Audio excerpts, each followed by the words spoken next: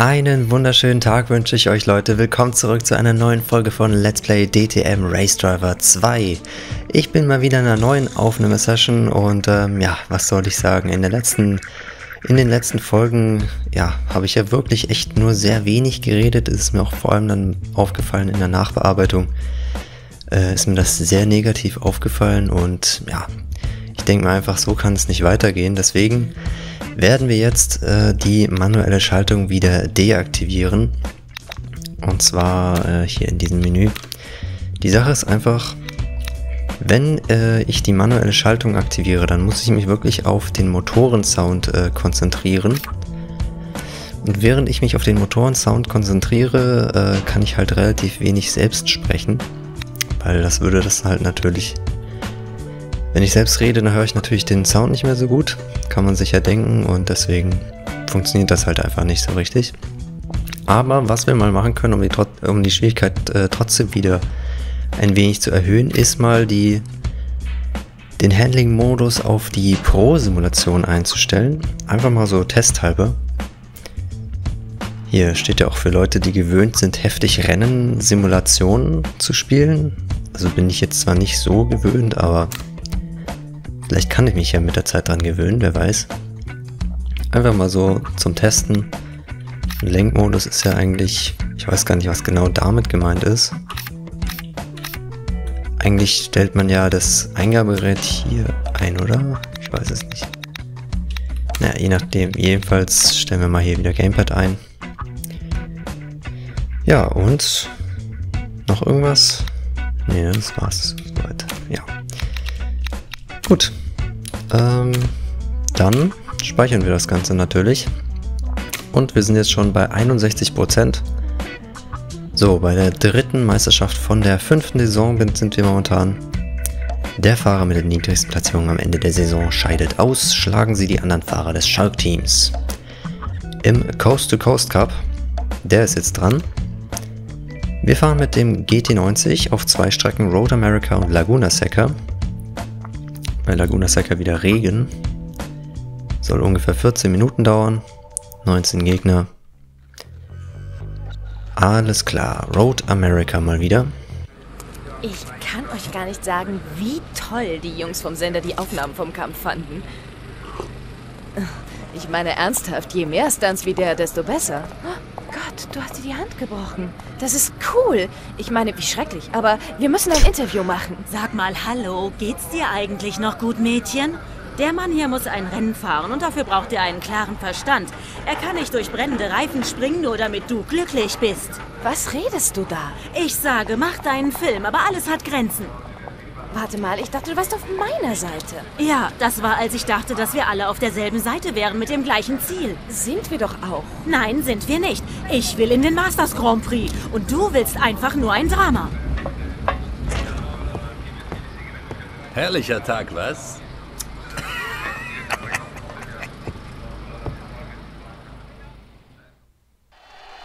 Hm. Nach wie vor ist das Verhältnis schwierig.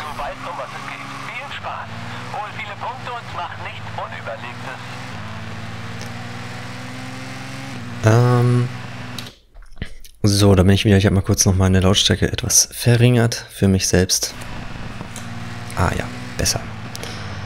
Ähm, genau. So, jetzt wieder mit diesen Fahrzeugen hier. Die kennen wir ja auch schon. Aus einer der letzten Meisterschaften. Okay, ist schon etwas länger her, dass wir die gefahren sind. Oder dass wir dieses Fahrzeug hier gefahren sind, aber... Es ist mir auf jeden Fall noch bekannt. So. Wer sind jetzt die beiden da vorne? Die beiden farblich markierten Fahrer. Würde ich ja gerne mal wissen. Wollen wir kurz hier im Pausemenü schauen. Position im Rennen. Ähm, da haben wir Stomper und Stellan. Team Kalinetic und Trans 80 MS. Okay. Das scheinen also hier unsere ärgsten Gegner zu sein. Alles klar.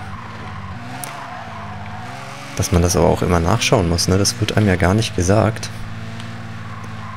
Äh, wer jetzt genau in dem Rennen mitfährt. Aber na gut.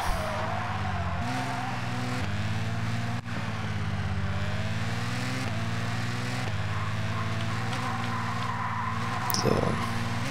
Bisschen driften hier in der Kurve. Kann man machen. Drei Runden fahren wir. Oh, die Kurve habe ich falsch eingeschätzt. Das war nicht gut. So, wir spielen jetzt ja mit der Pro-Simulation mit dem Handling-Modus. Aber ehrlich gesagt ist das jetzt gar nicht mal so ein Problem für mich. Also ich merke eigentlich kaum Unterschied, muss ich ja sagen. Okay, doch, vielleicht ein bisschen einen kleinen Unterschied. Aber eigentlich geht das vollkommen klar.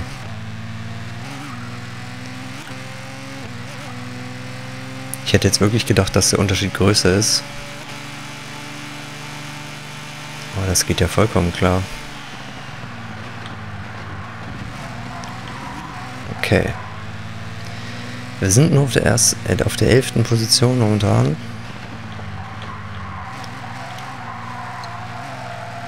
Das ist natürlich noch absolut nicht äh, ausreichend. Okay, ja. Die beiden Gegner sind auch natürlich ganz vorn mit dabei. Wie sich das gehört. Aber das Feld ist sehr eng beieinander. Also da sollte sich auf jeden Fall was machen lassen. So, da habe ich jetzt gerade schon mal kurz gemerkt, wie... Oh, okay. Wie mein Wagen da ein bisschen ausgebrochen ist. Vermutlich bedingt durch die... durch das Pro-Simulationshandling. Aber wirklich ist es geht eigentlich vollkommen klar. Okay, die Kurve. Naja, habe ich diesmal etwas besser genommen. Trotzdem noch nicht perfekt.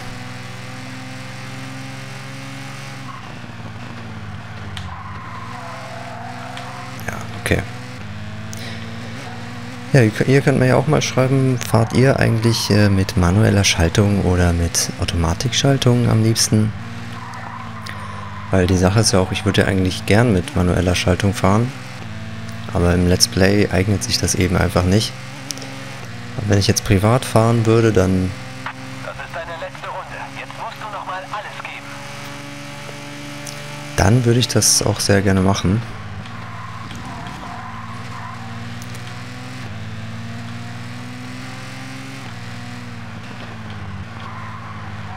So. Genau.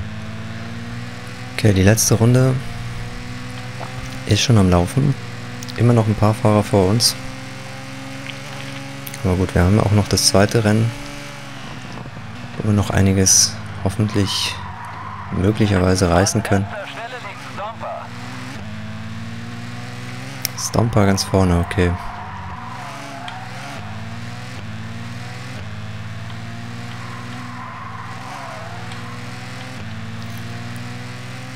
Also die letzten Kurven hier. Vielleicht lässt sich da noch was machen.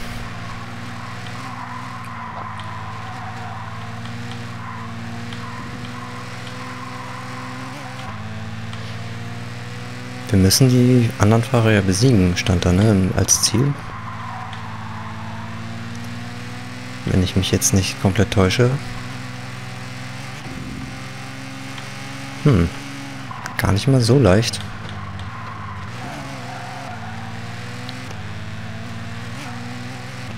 Okay, aber wir sind wirklich schon gut nach vorne gekommen.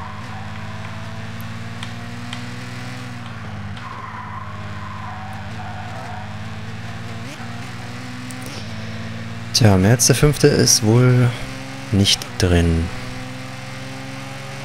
Du machst dich gut, aber gib ein wenig Gas, wenn du das hier gewinnen willst. Hm, okay. Also da müssen wir jetzt hoffen,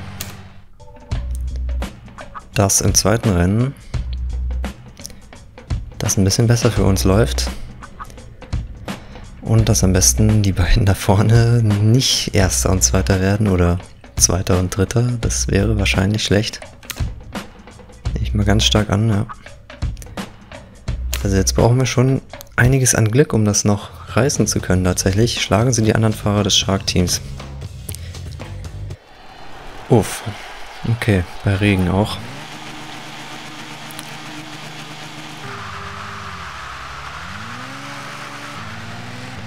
Okay. Ich nehme die Herausforderung an. Übrigens hier auch der Spoiler fährt sich hoch. Das war mir beim ersten Mal überhaupt nicht aufgefallen, als wir mit dem Wagen gefahren sind. Ist mir erst dann in der Nachbearbeitung aufgefallen. Äh, schönes Detail. In jedem Fall. So, Entschuldigung. Oh, diesmal ist zumindest Stella nicht ganz so weit vorne mit dabei.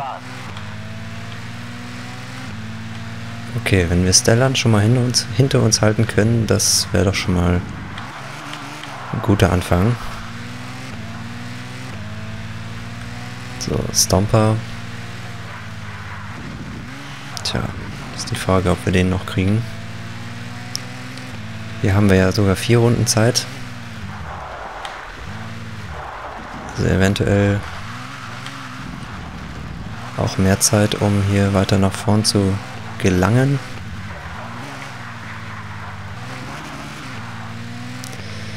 Also man muss sich hier schon wirklich konzentrieren. Upsa.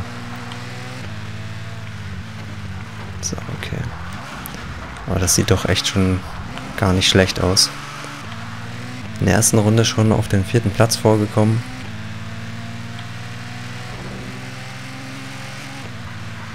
Okay. Also es könnte tatsächlich noch klappen sogar. Mit unserem Sieg. Okay. ja. Das Handling ist nicht zu unterschätzen, vor allem bei Regen auch noch.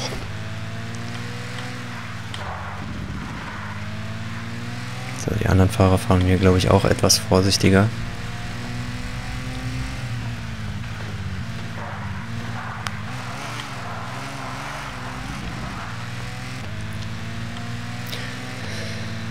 Ja, ähm...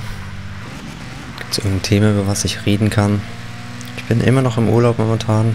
Ich glaube, meine letzte Aufnahmesession war ja auch äh, schon während meines Urlaubs. Aber allmählich äh, neigt sich mein Urlaub leider dem Ende entgegen.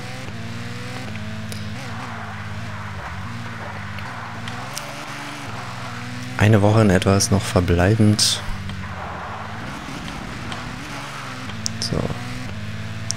In dieser Runde haben wir leider keinen Platz gut gemacht, doch. Und Stomper ist auf dem zweiten Platz. Okay, das könnte doch echt noch hinhauen. Das war die schnellste Runde des Rennens. Super gefahren.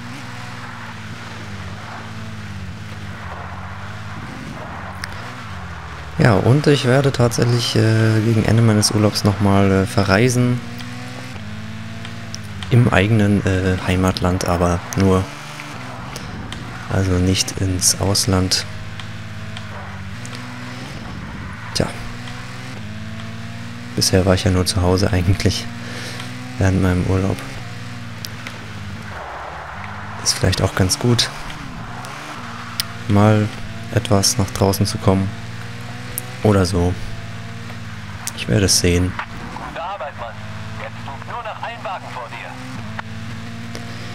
Sehr schön, wir haben auch Stomper geholt. Aber trotzdem müssen wir darauf hoffen, dass Stomper eigentlich noch ein paar Plätze verliert. Weil sonst... Oder, oder müssen wir eigentlich nur hinter... Also nur einen der beiden besiegen. Eigentlich ja schon, oder? Boah, erster. Jawoll. Nein, kommt, nein. Du bist in der letzten Runde. Das ist deine letzte Chance zu überholen. Ja, das kriegen wir schon hin. So. Freundchen. Bleib jetzt hinten, ja? Okay, wir haben auf jeden Fall uns die beste Position geholt. Wir müssen wirklich nur hoffen, dass das auch ausreicht. Dass unsere Gegner möglichst noch ein bisschen zurückfallen, sodass wir sodass die natürlich nicht äh, genügend Punkte für den eigenen Sieg äh, bekommen. Bei Stellan sieht es sehr gut aus, aber bei Stomper bin ich mir nicht ganz sicher. Ich weiß jetzt auch gerade gar nicht, wie viele Punkte man auf dem dritten Platz bekommt, wo er jetzt ist. Ähm, ja. Wir hoffen einfach mal das Beste. Weil mehr kann ich ja auch nicht machen, als auf den ersten Platz fortzufahren.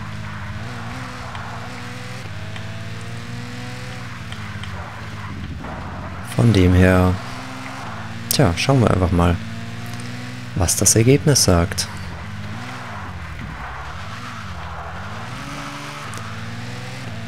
So, in der Zielgeraden. Wir haben es geschafft. War viel zu knapp, um ruhig zu bleiben. Wir müssen warten, bis der Rest der Wagen reinkommt, bevor wir deine Ergebnisse kriegen. Oh ja. Hm, keine Zwischensequenz. Was hat das zu bedeuten, Leute? Also Stomp auf Platz 3 gelandet. 6 Sekunden Rückstand. Stellan.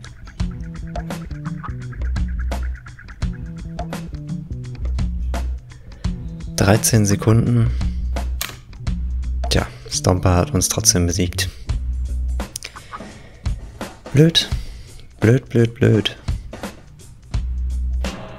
Das ist echt doof. Aber es hat trotzdem gereicht. Hä? Aber weil wir doch nur einen von den beiden besiegen mussten. Okay. Gut. Ja, dann hat es also doch gereicht. Ähm, okay. Tja, dann sind wir jetzt schon beim Finale von der fünften Saison. Das ist doch wirklich gut. Wie sieht es aus mit unserem Fortschritt? 64%, okay. Ja, ähm, lassen Sie sich nicht von Bastide die Meisterschaft streitig machen. Sie oder er. Okay, also es geht jetzt gegen Bastide. Ja, wir haben eigentlich noch kurz Zeit, ne? Die Bridgestone Street Serie ist schon wieder. Da können wir ja mal zumindest das erste Rennen machen oder vielleicht sogar das zweite.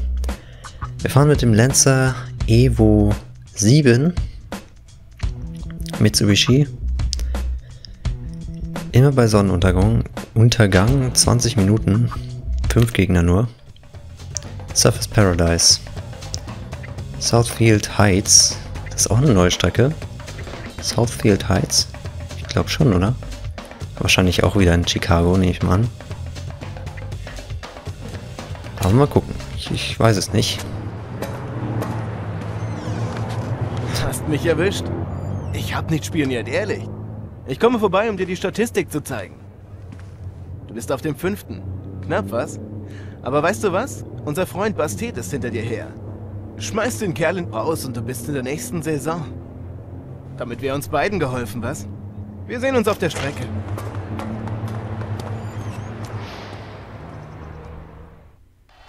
Hm. Okay, wir sind auf dem fünften, das zieht auf dem letzten Platz. Wir müssen einen Zahn zulegen. Äh, das war jetzt gerade Stellan, oder? hoffe es. Ich hoffe nicht, dass ich jetzt die Namen durcheinander gebracht habe. Ähm, also er hilft uns immer mal wieder. Obwohl wir eigentlich Konkurrenten sind. Tja. Hoffentlich versucht er nicht, äh, unser Vertrauen am Ende auszunutzen. Okay. Ein kleines Rennen hier mit wenig Teilnehmern. Wieder mehrere Gegner sind hier auf der Strecke. Ich gucke mal kurz rein in die Liste.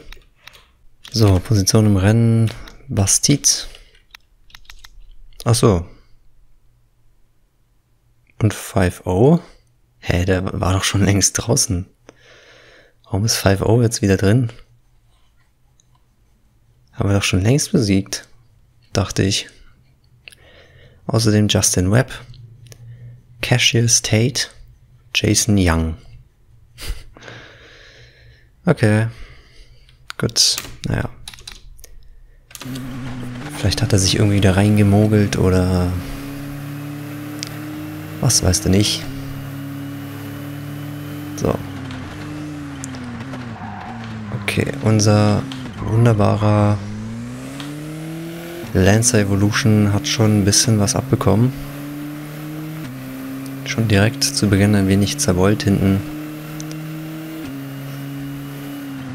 Aber das sollte unseren Erfolg äh, in diesem Rennen trotzdem nicht beeinträchtigen.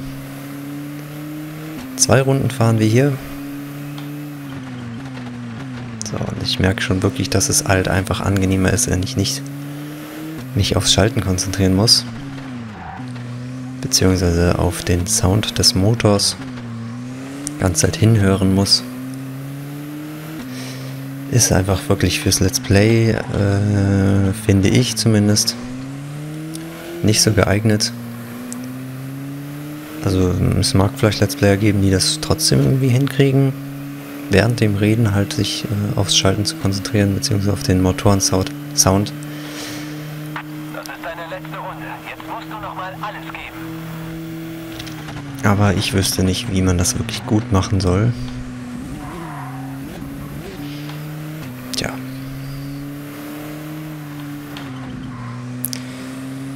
Deswegen werden wir das wohl äh, jetzt und in Zukunft dann bleiben lassen. Aber es gibt ja noch andere Optionen, mit denen man sich das Spiel etwas schwieriger machen kann, wenn man denn es zu leicht findet. Also, ja. Das sollte nicht das Problem sein. Oh, da gab es anscheinend einen Unfall oder so. So, und wir sind immer noch nur auf dem vierten Platz.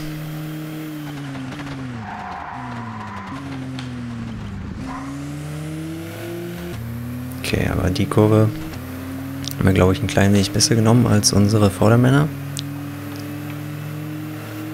So, der Typ hier direkt vor uns müsste eigentlich aus unserem Team sein. So, ich kürze ein bisschen ab manchmal.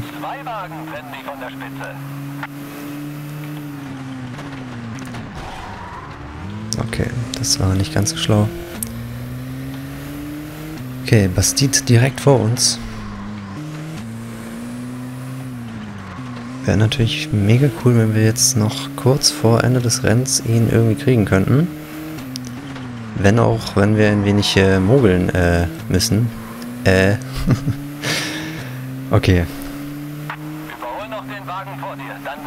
dir, ja. Das mache ich jetzt mal eben so. Eben mal so den Wagen vor mir noch überholen. Auf der Zielgeraden.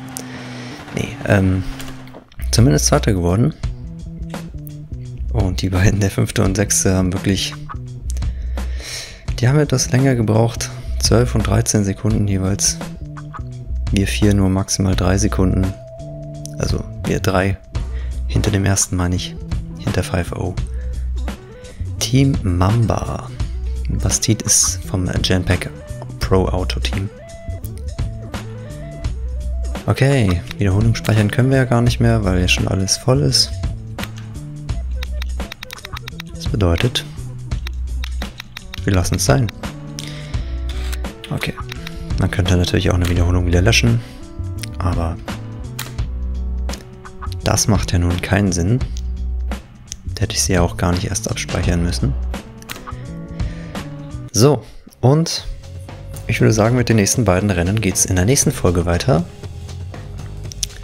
Glaube, wir sind auf einem guten Weg in dieser Meisterschaft Bridgestone Street Series. Und in der nächsten Folge geht es dann gleich weiter mit der wahrscheinlich neuen Strecke. Zumindest kann ich mich gerade nicht erinnern, auf der bei den Southfield Heights schon mal gefahren zu sein.